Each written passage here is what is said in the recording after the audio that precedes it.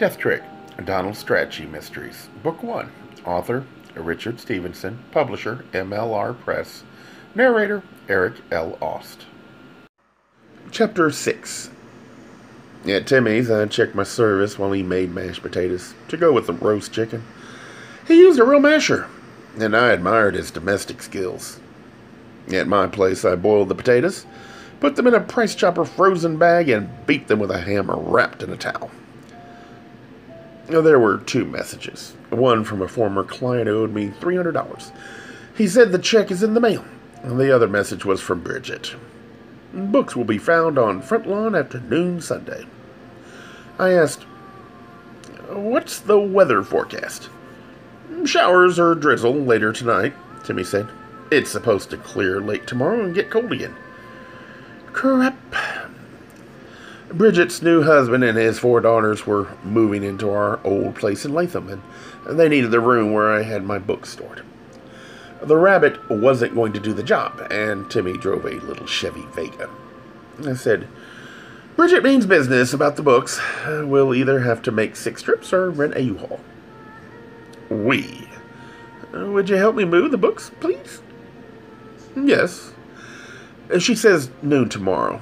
Uh, then she chucks them out. Mm, she's a sweetheart. Right.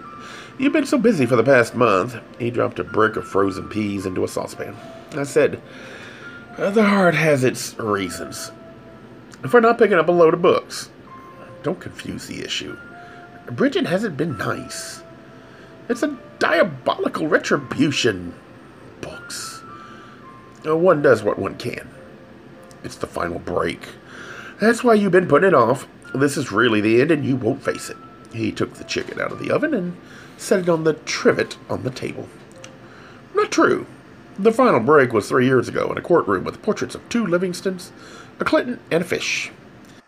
I began hacking away at the chicken with a bread knife. Timmy winced. Why don't you let me do that? You carve the mashed potatoes. I went looking for a serving spoon. The final break, Timmy said, will come when Bridget smiles warmly and shakes your hand and says, Heck, Don, at least we had seven wonderful years. I understand and sympathize, and there'll be no hard feelings on my part. That's the final break you're waiting for. Except it's not going to happen. I can't find a spoon. Middle drawer. How come I keep getting mixed up with people who devote their lives to explaining me to me? Bridget did that. It's a powerful force to constantly contend with. Uh, nature abhors a vacuum. Uh, like the poet said, fuck you anyway. I make my way in the world and I understand enough of what's going on. I do all right. Mm, that you do. You don't make it easier. Of course I do. I said, Here I. You do. Let's eat. Over dinner, I told Timmy about my two visits with Billy Blunt's friends and one I'd found out about Blunt. It turns out he's not so morbidly attached to the Duke and Duchess as I thought he was. That's just how they see it. Or want others to see it. In fact, he seems reasonably stable and in control of his own life, and sufficiently resourceful that he knew just where to go when trouble happened. He went somewhere you can fly to for 240 bucks. That could be just about anywhere these days. You can get to London for under 150. Not from LaGuardia. That'd be JFK. I've got to find somebody who can check passenger manifests. Deslandi says Blunt once had friends on the West Coast. He could be up there. Maybe he flew under another name. It's easy. Could be. He was thinking. The cops could check. Are you going to tell him? Later, in due course. Are there more rolls? Mm, in the oven. The people who know Blunt best speak well of him. Everybody says he's likable and fun to be around, though a bit verbose and dogmatic. But he's got no real hang ups that get to people, and certainly no violent streak. He does have some private grief he keeps inside, an irrational or possibly entirely rational fear of being shut in or locked up. Something that happened to him once. Huey and Mark and Frank Zimka all mentioned it. I'll have to check that out with the Blunts. He would explain his panic to get away, even if he hadn't committed the murder. Or even if he had. Mm, yeah, there's that. He didn't tell Zimka anything about what happened? Not much. Either that or Zimka is holding something back. Or even making the whole story up. This is possible. Zimka's brain couldn't have survived its owner's life unscathed. Zimka may lie as naturally as he blinks. Anyway, for what it's worth, a blunt was there, as Zimka said, but he didn't actually see the stabbing or the person who did it. He was in the bathroom? Had to piss? How long does that take? Mm, brush his teeth? Uh, when you used to trick, did you carry a toothbrush? That was too long ago. I don't remember. How about you? He looked at me from his plate and then down again. And another thing is, I can't figure out Blunt's connection with Zimka. His other friends so far are nice, wholesome folks, like Deslandi, for instance. Right, Timmy said. Like Mark. I liked Huey and Mark and saw what Blunt saw in them. Zimka, on the other hand, is badly screwed up. Not entirely lacking in the decenter instincts, but he's a slave to some unholy habits. And when he's down off his pills, his outlook on human life is decidedly gloomy. Why did Blunt hang around a guy like that? there's a side to Billy Blunt I don't understand yet. Money. You said the guy had ready cash. Blunt used them? For what? Blunt had no expensive habits. None that I know of. I looked at my empty plate. A coffee? Yeah, I guess. And the knife attack on Huey. What's his name? Last night. It probably doesn't have anything to do with Blunt or the Kleckner killing, but still. Have you ever heard of a white burglar operating in Arbor Hill? That might be a first. Mm, it might. So what's next? There's a guy by the name of Chris I have to check out. And there's a woman Blunt evidently was close to. Huey saw them together once. A mystery woman in an evening gown and black cape. Maybe it was Megan Marshack?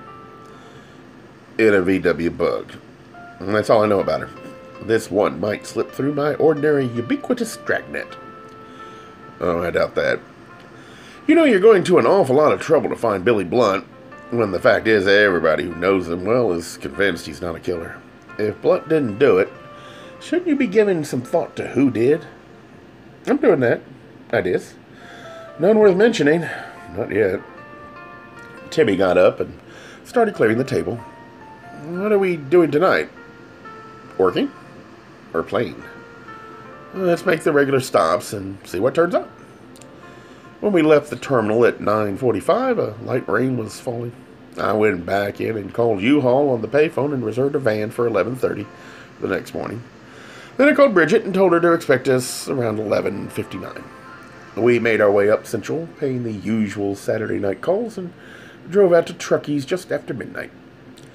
There was another good crowd. as sign by the door said 5% of the take that night was being donated to the Albany Schenectady Troy Gay Alliance. And a good number of the local gay pols and organizers were on hand.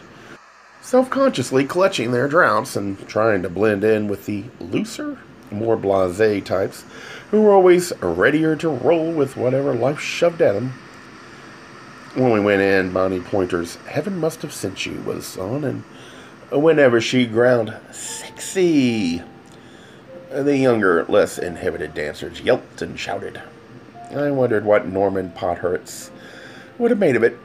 A truckman himself was at the door, tipsy and unkempt, in green work pants and an old gray sweatshirt. He pulled me aside and asked me if I'd found Blunt.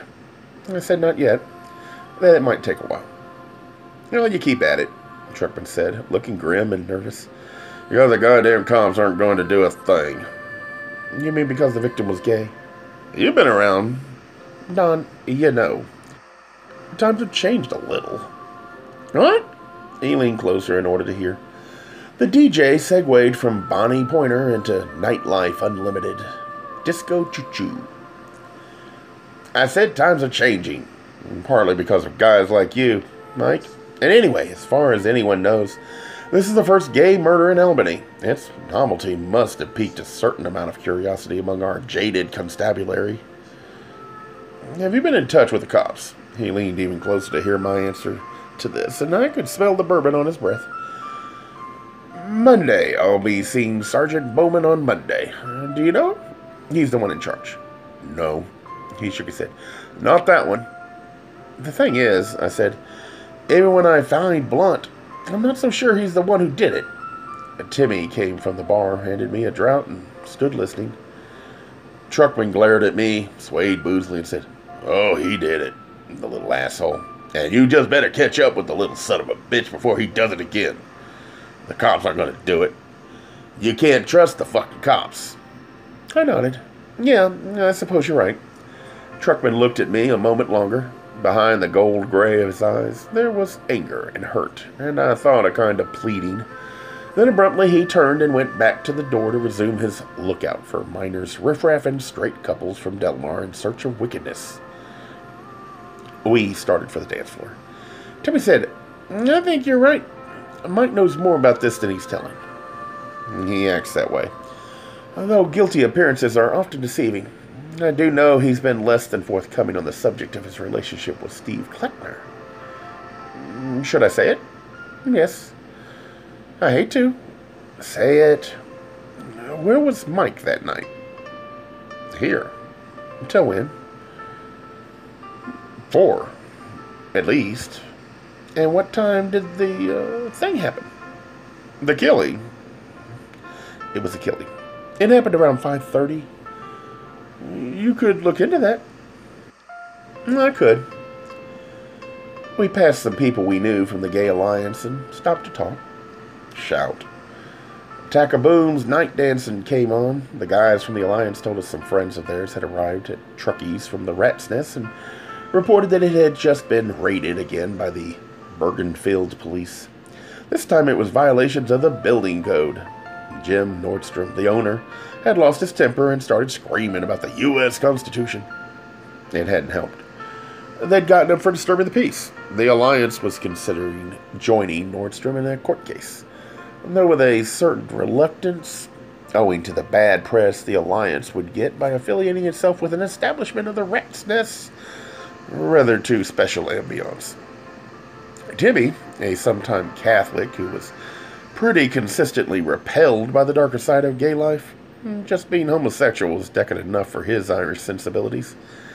Nevertheless, volunteered to help set up a legal defense fund if the Alliance chose to go ahead. The Pols said the organization was divided over the matter, but would decide soon. Timmy said he'd stay in touch. We made it back to the dance floor, danced for eight or ten songs, then decided to break after Michael Jackson's Don't Stop Till You Get Enough. For the moment, we'd had enough. I'm back at the bar, I said, When I was 25, one of the things I wanted most in life was to go to bed with Paul McCartney, who was around 21. Now I'm 40, and one of the things I want most in life is to go to bed with Michael Jackson, who's around 21. What does this mean? Timmy said, There won't always be youth, but there will always be use. We drank our beer. The DJ was playing Peter Brown's Crank It Up. Hi there, big guy. You come here often? A deep voice from behind me. Apprehensive, I turned. Phil Gerald was laughing silently. Mark Deslondy was with him. Thanks, Deslondy said, doing his smile and tilted head thing. He was where you said he'd be last night. I said, Donald Strachey, private investigations? Discreet introductions. Actually, we'd met, Phil said, smiling a little goofily. Timmy said, Maybe you'll run into each other again sometime. And each of you certainly hope so. They both grinned, Phil with his squint, Deslondy with his whiskers and angles. Timmy was right. They were looking very coupley. Timmy, in the two and a half years I'd known him, had threatened at least once a month to compose a song that started, I fell in love in Washington Park with a man who'd remarked on the weather, but he'd never gotten around to finishing it. I knew the moment was once again upon us. Timmy said, I'm going to write a song someday that starts. I sing along and Phil who'd heard it too, joined in. The trouble is, Timmy said. Then nothing apt rhymes with weather. Phil said, Feather. I suggested tether. Deslandi said, How about sweatshirt? We looked at him. We all laughed together, except for Deslandi, who looked embarrassed and said, I majored in business. Later, as we were about to leave, Deslandi asked me whether I'd made any progress in locating Billy Blunt. Phil and Timmy went back to the dance floor for one last spasm, and Deslandi and I stepped out into the cool quiet under Truckee's portico. I said, No, but I've got a couple of ideas. Do you know about a woman in Billy's life, someone he might be fairly close to? He never mentioned any, Deslandi said. If there is one, it'd probably be platonic. Billy told me he knew he was gay when he was 16 and that he's never had any sexual interest in women at all. He sent a shrink his parents once sent him to. He kept talking about his confused sexual identity, but Billy said it was the shrink who was confused, that the guy couldn't understand plain English. Our mental health establishment at work, I said. Mob rule under the guise of science. I went to a sane one once. He was okay. Pretty cool, in fact. And smart. What'd you hear about the woman? From Huey. Uh, what's his name? He's seen them together. What about Frank Zimka? Did he know anything? Creepy, isn't he? Frank has his problems, but yes, he was helpful. He must have talked to Billy not long before it happened. He was out here that night. Here? Zimka was out here the night of the murder? I saw him in the parking lot around 1 when Phil and I were leaving. And that was the night Phil and I met. The head thing again. I loved it. Zimka was sitting in the car parked beside mine. Deslandi said, with the window rolled up. I figured he had the air conditioner on. It was a hot night. I said, Hi, Frank. And he just stared at me like he was spaced out, which he probably was. I think he frequently used his own product, although he did look quite a bit less wasted that night than he usually does. He didn't tell you he was out here? What Zimka had told me was when Billy arrived at 6 a.m., Zimka was asleep and had had a busy night. That was all. I said, he was vague about it. Yeah, he would be. Was he alone in the car? He was. Maybe he was waiting for someone? Describe what you remember about the car. 79 Olds Toronado gold finish. New white sidewalls. I'm not sure whether it was a standard or diesel V8. I didn't look under the hood. You know cars. Sears Automotive Center wouldn't have it any other way. Timmy and Phil came out. Philly and Mark Deslandi soon left, and I told Timmy I'd just be a minute. I approached Mike Truckman, then changed my mind. I tried to catch him sober on Monday, and went to the bar. I asked each of the bartenders if he knew Frank Zimka, and when I described Zimka, each said he knew who Zimka was. I then asked whether anyone had seen Zimka with either Billy Blunt or Steve Kleckner on the night of the murder, and each said no. He didn't think Zimka had even been in Truckee's that night. At 3.15, Timmy and I drove back to his place through a cool drizzle, made love with a furious intensity that was reminiscent of the night after the night we first met, and set the alarm for 10 o'clock. A Gay Mysteries audiobooks. I think it is easy to hate a label, but a face humanizes the word. So this effort is twofold to offer comfort to those like myself that your world didn't end because you don't fit into the view of acceptable society on both sides. And in hopes of helping those with family that are LGBTQ, uh, that it doesn't mean we are aliens from the child they once knew. Reassure them so they can maybe be supportive at the same time, being true to their values.